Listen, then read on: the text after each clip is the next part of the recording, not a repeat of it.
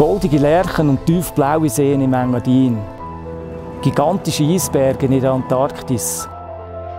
Endlose Sanddünen in der algerischen Sahara. Oder Elefanten und Leuen in den namibischen Steppen. Das sind Sachen, die mir super gut gefallen. Wenn ich durch die Welt reise, auf der Suche nach Motiv, fühle ich mich mit der Natur immer stark verbunden. Mein Name ist Rolf Gemperle und ich bin professioneller Natur- und Landschaftsfotograf. Inzwischen organisiere ich seit über 15 Jahren regelmäßig Workshops und Fotoreisen. Zusammen mit meinen Kunden begebe ich mich auf die Suche nach dem schönsten Licht und den besten Fotospots.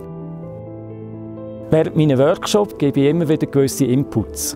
Sei das zu Equipment, Kameraeinstellung, Bildaufbau, Lichtführung oder auch zu der Bildbearbeitung. Neben Workshops biete ich aber auch Fotoreisen in die unterschiedlichsten Destinationen an. Ob tosende Wasserfälle, beeindruckende Gletscher, majestätische Hügellandschaften, Dünen, Eiswüsten oder Begegnungen mit wilden Tieren, bei all diesen Reisen steht Natur im Vordergrund. In den letzten Jahren habe ich mein Portfolio an Fotoreisen ständig erweitert. Neben Reisen in Europa biete inzwischen auch Fotoreisen und Expeditionen an die abgelegensten Orte auf der Welt an. Eine zweiwöchige Fotoreise durch die Namibwüste mit unseren 4x4-Fahrzeugen und unzähligen Dünenüberquerungen, das ist sicher eines der Highlights. Landschafts- und Tiermotive finden wir dort überall. Eine meiner Segelboot-Expeditionen führt mit Antarktis. Das ist für mich eine der beeindruckendsten Fotokulissen.